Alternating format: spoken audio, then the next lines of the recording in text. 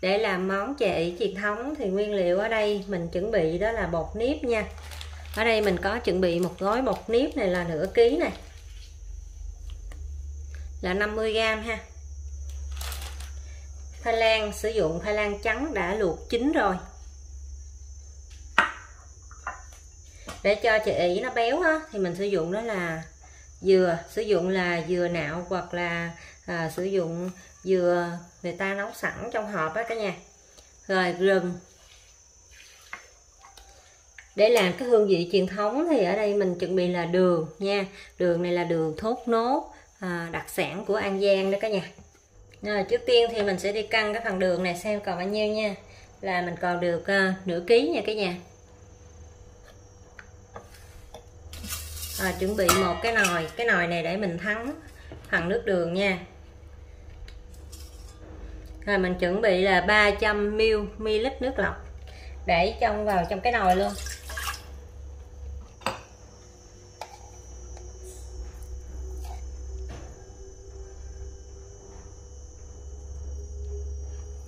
Mình dít cái phần đường á, để vào trong cái nồi này nha. Thì còn nửa ký thì mình sử dụng tầm cỡ khoảng hai trăm rưỡi gram nha cả nhà.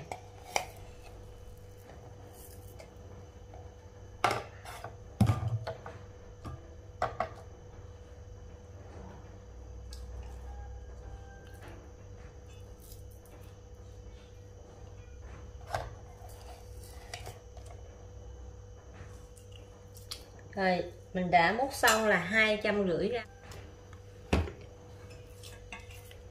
mình để trong nước này cho nó tan ra một chút xíu rồi mình hãy bắt lên nấu. Tiếp theo thì mình đi sắc gừng. À, mình chuẩn bị thớt này.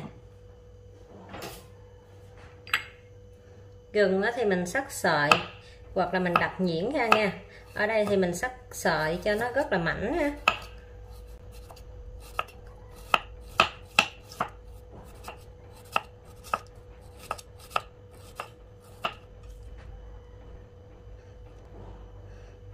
Để làm chè ỉ thì cũng giống như chè trôi nước nha cả nhà. À, mình sử dụng gừng để cho nó tăng cái hương vị á. Nó sẽ ngon hơn.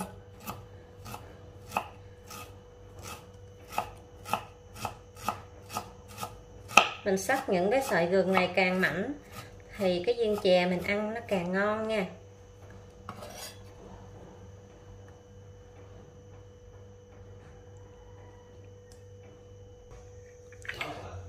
Gừng mình đã sắc sợi xong thành những cái miếng như thế này nha. Rồi mình đẩy một bên. Tiếp theo là mình sử dụng tới cái thằng nước dừa nha. Dốc nước cốt dừa, chuẩn bị là một ít nước ấm nè. Mình đẩy vào.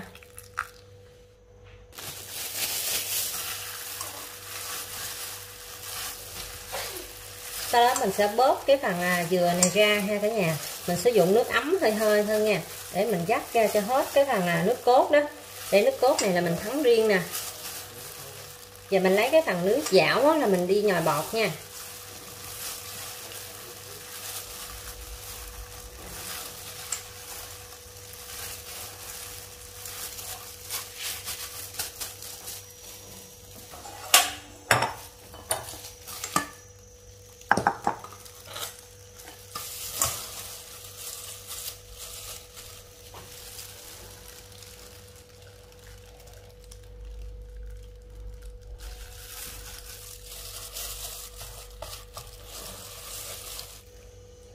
Và đây là phần tô nước cốt mà mình đã dắt xong rồi ha.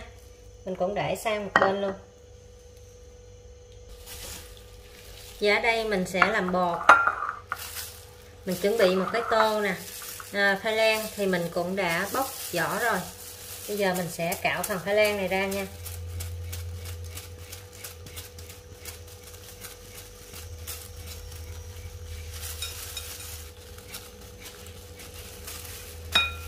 Bột nếp thì nó đã có độ mềm rồi ha. Nhưng mà khi mà mình mới nấu xong á, thì rất là mềm. Nhưng mà mình để lâu qua ngày á, thì nó sẽ bị cứng dọn lại á. nên là mình sử dụng khoai lan thì mình để sang ngày hôm sau. Nếu mà trừ khi mình ăn không hết á, thì à, phần bột á, của chè cho nước hay là chè ỉ đó nó sẽ không có bị gión cục. Nó không có bị đông cứng lại đó cả nhà nó vẫn là mềm dẻo bình thường.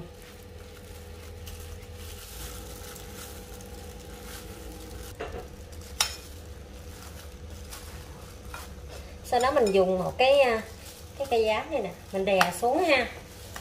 Rồi mình tán cho cái phần thai của mình nó được nhuyễn hơn đó.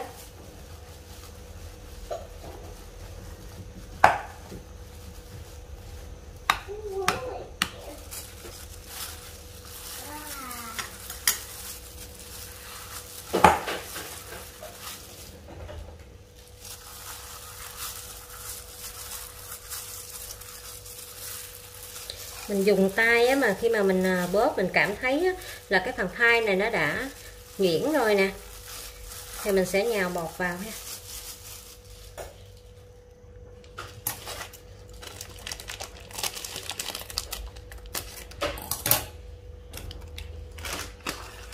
Rồi mình cho bột vào đây phân nửa bột nha là 250g mình sử dụng phân nửa bột thôi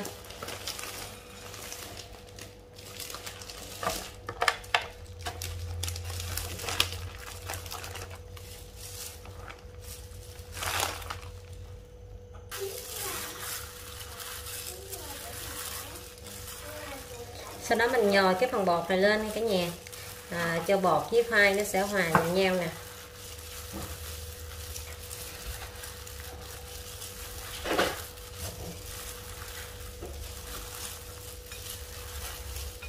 Sau đó mình cho từ từ à, một ít nước.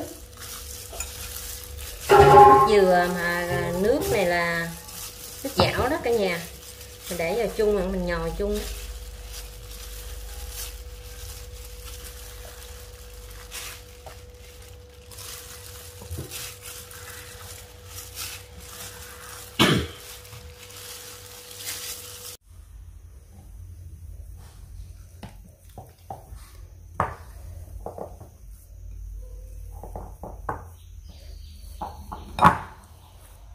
Mình để nước cho, mình nhồi từ từ nha cả nhà.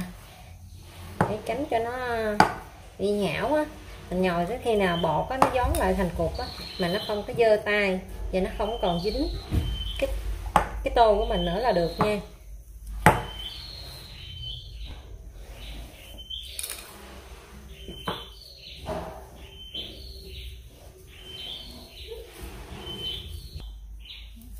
Khi mà mình nhồi cục bọt ha, bọt nó không còn chín tay nữa nè. Đó, là cục bọt nó đã được rồi đó, mình có thể gịch ra nè. Đó, mà nó có độ dẻo luôn đó cả nhà. Đây rồi mình để vào trong cái tô nha. Để cho bọt này nó nghỉ tầm có khoảng 5-10 phút nha cả nhà. Và để cho phần bọt này nó không bị khô đó, thì mình dùng một cái bao thực phẩm. Mình bao lại nha. Để cho bột này nó không có bị khô.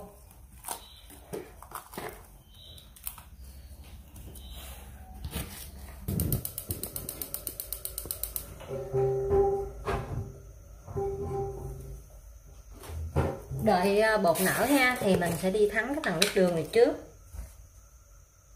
Mình cho vào trong cái phần à, nước đường này một xíu muối nha.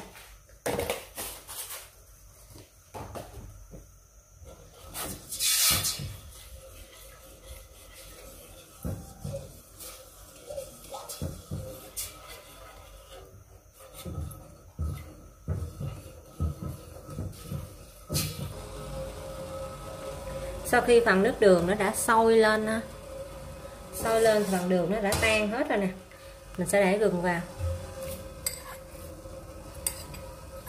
Để hết cái phần gừng sợi mà mình đã chuẩn bị trước đó ha, vào trong cái nồi nước đường này luôn đó. Lúc này cái phần nồi nước đường này nó rất là thơm luôn đó cả nhà.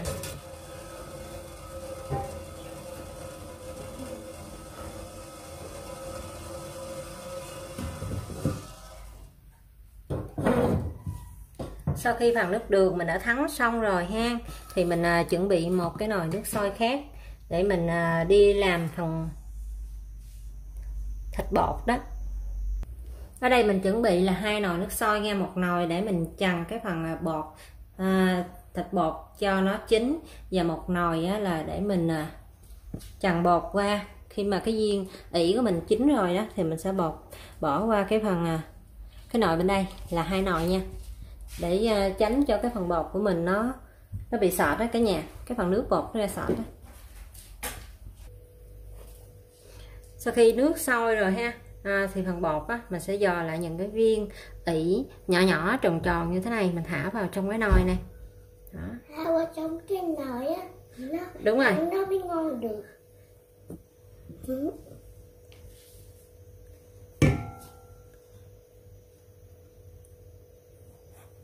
rồi ở đây là hai mẹ con mình cùng vò.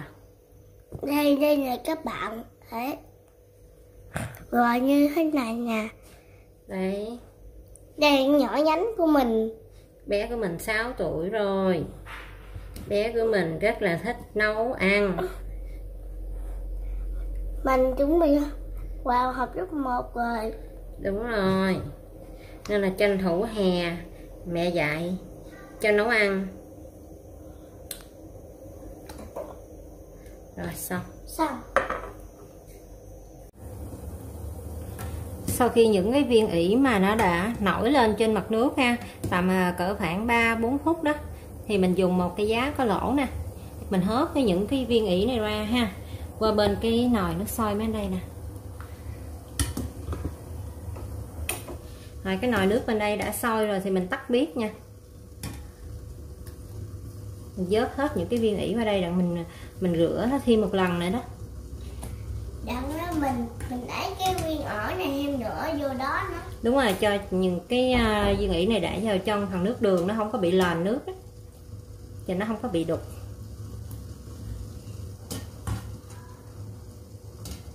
Chừng nào á cái viên ổi này á nó lên trên là nó chín rồi. Đúng rồi. Nó nổi lên trên nhưng mà nó chưa có chín đâu con nó phải sôi thêm một hồi nữa thì nó mới chín đều hết cái phần phía bên trong đó. Rồi. Sau đó mình đảo đều lên ha rồi mình múc lên. Đó mình để cho nó rõ nước nè. Sau đó mình sẽ để tiếp theo qua cái phần à, nước đường mà mình đã thắng lúc nãy đó. Đẩy vào đó. Cái nhà thấy ngon chưa? Rồi đây là cách làm chè ỉ truyền thống nha đây là màu trắng truyền thống à, do dịch covid nên là mua đồ thì cũng rất là hạn hẹp nha cả nhà. Nên là hôm nay mình chỉ làm được có một màu thôi. À, màu truyền thống như thế này nha. Ồ, cả nhà thấy ngon không? Rất là tuyệt vời ha. Thơm quá trời thơm luôn cả nhà. Bữa nay là dịch nên mình người ta không có mở cử gì mở cử nhà là mình bị bệnh luôn á. Ừ nên hôm nay là dịch nhiều lắm. Rồi tiếp theo thì mình ăn à, thắng nước cốt dừa ha cả nhà. À, thắng nước cốt dừa thì ở đây mình có chuẩn bị một ít bột năng nha. Xíu thôi.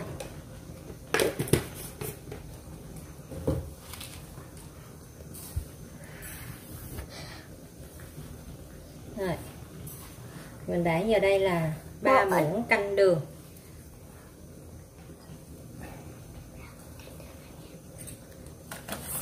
rồi mình dùng cây đánh bột này cả nhà. Mình đánh đều ra ha phần bột này nó tan ra nè.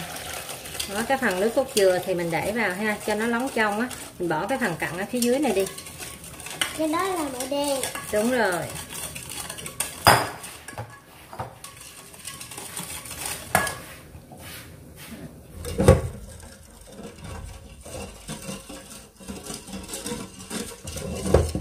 Tiếp theo thì mình sẽ thắng à, phần nước cốt dừa cả nhà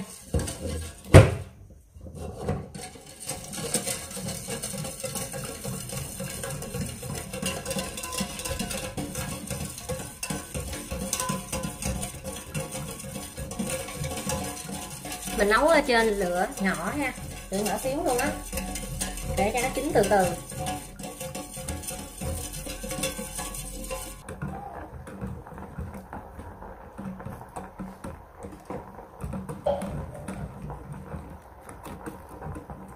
Mình nấu cái phần à, nước cốt dừa này đến khi nào nó à, hơi kẹo sọt lại ha. Sôi lên và nó chín bột rồi đó. Là kẹo sọt lại là được cái phần nước cốt dừa.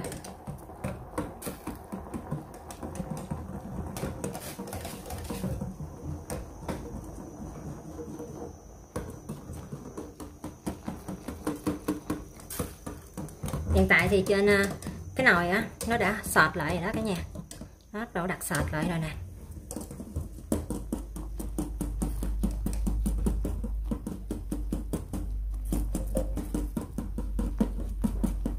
Nó rất là sâu luôn đó.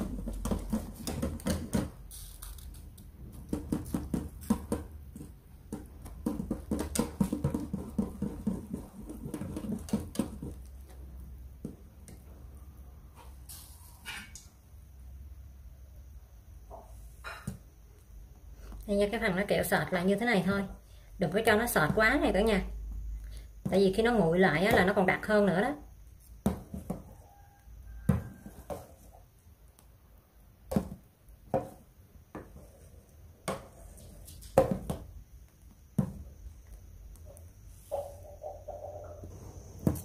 Giờ khi mà mình à, nấu nó cốt dừa cái phần bọt này lên là mình có hớt nha. Cái gì cái phần này là cái phần nước cốt dừa không thôi. Nên là mình à, tắt bếp đi. Sau khi mình đã chuẩn bị xong hết rồi ha bây giờ mình sẽ à, múc cái phần chả ỉ này ra một cái tô.